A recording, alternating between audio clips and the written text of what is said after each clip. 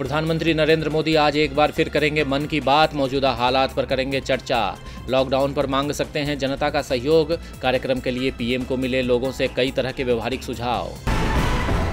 देश भर में कोरोना पॉजिटिव मामलों की कुल संख्या पहुँची 25,000 के करीब। अठारह सक्रिय मामले 5,210 लोग हो चुके हैं ठीक मरीजों को अस्पताल से दी गई छुट्टी। करीब 800 लोगों की अब तक जा चुकी है जान। लॉकडाउन के बीच दिल्ली सरकार ने राजधानी में केंद्रीय गृह मंत्रालय के नए आदेश को लागू करने का लिया फैसला। आज से गली मोहल्ले और आवासीय कॉलोनियों में बनी दुकानों के साथ ही जगह जगह बनी एकल दुकानों का खुलेगा ताला।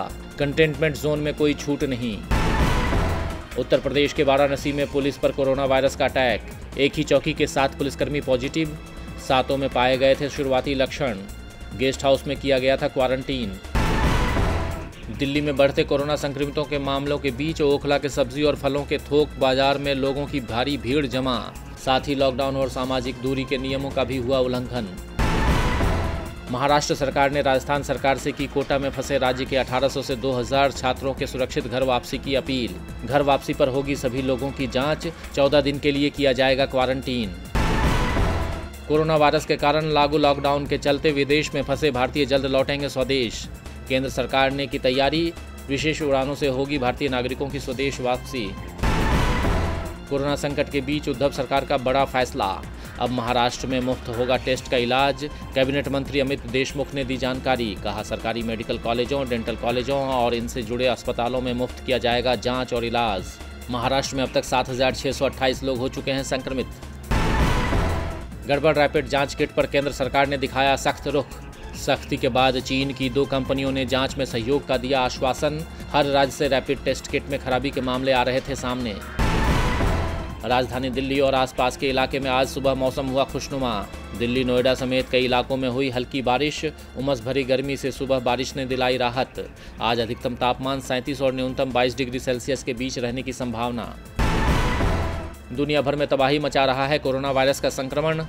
वायरस से अब तक एक लाख संतानवे हज़ार से ज़्यादा लोगों की जानें जा चुकी हैं और अट्ठाईस लाख तीस हज़ार से ज़्यादा लोग हो चुके हैं संक्रमित, जबकि आठ लाख लोग हो चुके हैं ठीक।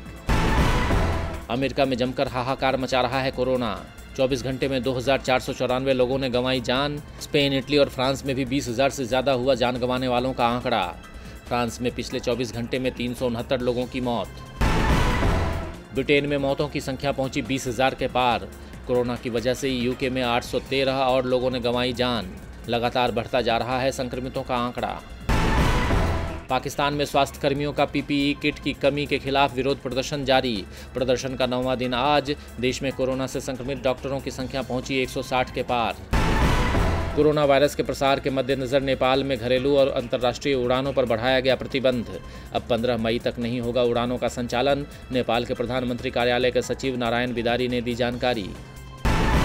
सत्ताईस अप्रैल के बाद आ सकता है एक और राहत पैकेज। कल पीएम मोदी की देश के अलग अलग राज्यों के मुख्यमंत्रियों के साथ मुलाकात के बाद हो सकता है आर्थिक राहत पैकेज का ऐलान।